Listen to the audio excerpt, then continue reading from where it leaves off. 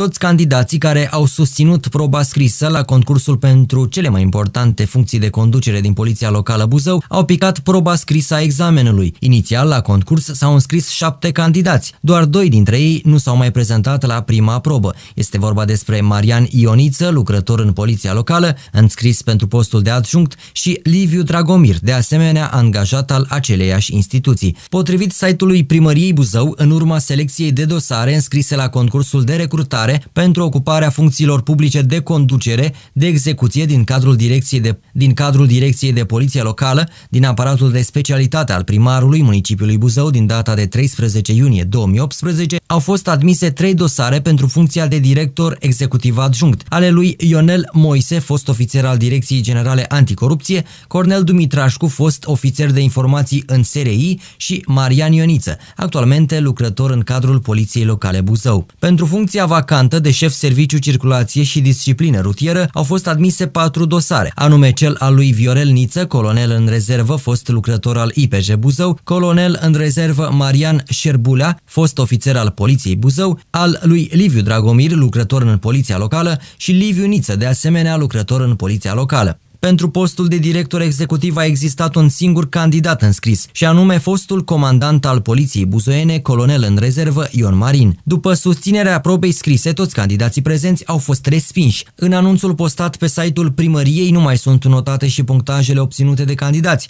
În aceste condiții, concursul se va relua la o dată stabilită de primăria Buzău.